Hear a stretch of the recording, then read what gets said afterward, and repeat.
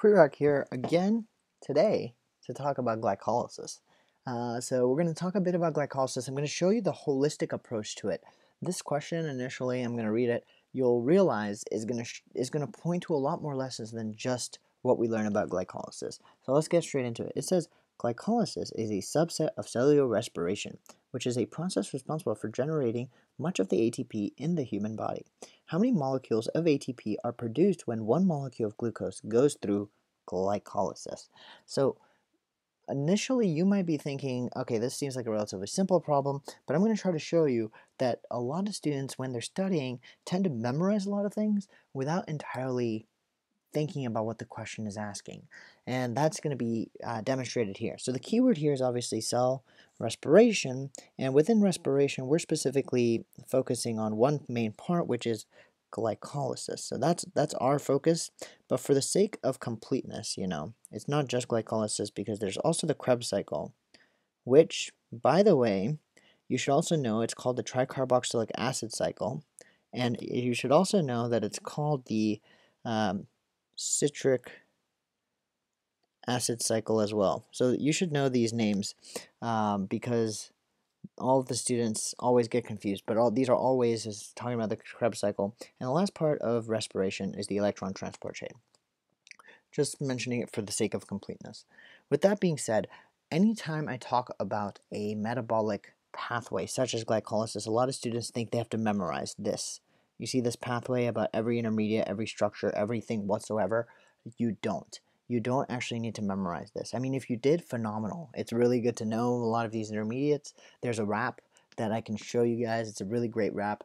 It's on YouTube actually. It's it's to the tune of Thrift Shop. I'll link it in the description below. But the point is, you don't need to memorize this. I, I think it would help you, but you don't need it. Instead, you need to do three main things. You should know what goes into thing into the into the pathway and what comes out. So for glycolysis, we know that glucose goes in, and when you what you get out is two pyruvate molecules, right? So here's a good thing to know because this is obviously glucose is a six carbon sugar. So if you if you get two pyruvates out, you should realize that pyruvates are three carbons each. So it's kind of a great way to understand the process without understanding the nuts and bolts. The other thing you should know about metabolic processes are the ATP slash NADH formed. Are there any formed? How many? And and how how are they formed exactly? And the last thing you should know about any metabolic process is where does it happen? For glycolysis, this is the cytoplasm. Because as many of you know, glycolysis is the most fundamental energy harvesting process that exists. It exists in almost every organism, and for that reason, it needs to it needs to happen in a place that's conducive and accessible to every organism. And the cytoplasm is exactly that place because the cytoplasm is in every organism, and that's why glycolysis happens in every organism. So with that being said, let's talk about the energy content. So again, I told you you don't have to memorize the specific steps where ATP is made. But for anyone of you who's been through high school biology, you'll know that glycolysis, energy-wise, happens in two main steps. There's an energy investment phase, right? And in the energy investment phase, you use two ATPs because you have to make the glucose a reactive molecule. So you have to react it with two ATPs. And then there's a second phase called the energy payoff phase. And in the energy payoff phase, you form four ATPs and you also form two NADHs. But that's beside the point because our question was asking about ATPs. How many ATPs are formed? And so you'll notice that you actually end up forming four ATPs. And at the end of the day, because you form four, but you used up two, at the end of the day, you're technically forming two net ATPs, right? And in high school, in high school, what happens, and in textbooks, what happens is that they say that you form two ATPs.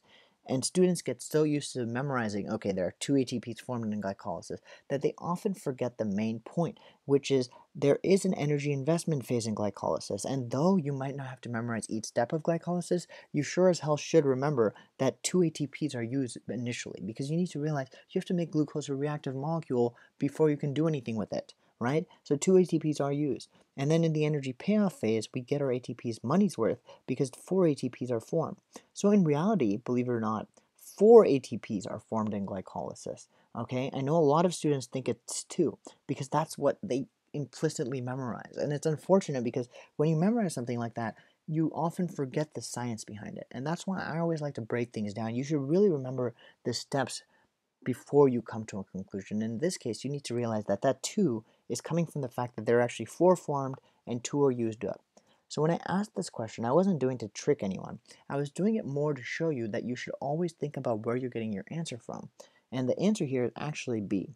The answer is B. Four ATP molecules are produced, but there's an energy investment phase where two ATPs are used, so there's a net production of two ATPs. But if you ask me straight up how many molecules of ATP are produced, the answer is four. If you ask me how many net ATP produced, that would be two. But if it's just ATP, if it asks you just ATP produced in glycolysis, the answer is four.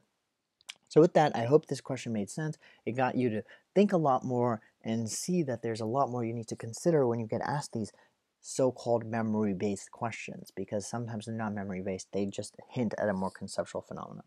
All right, guys, uh, please like, share, subscribe, and let me know if you have any questions. Look forward to seeing you in the next video. Hey, thanks for watching the video. Really appreciate it. You want to check out any of my other videos, there's going to be one right here. Another link to one of my videos right here and another video right here. Why not? I'll put one video right over here. And last but not least, if you want to subscribe to this channel, really appreciate it because I'm still an early YouTuber trying to get it down. But a subscription button should be right over here. So please subscribe. Cool. Thanks. See you guys in the next one. Hope you find these videos helpful.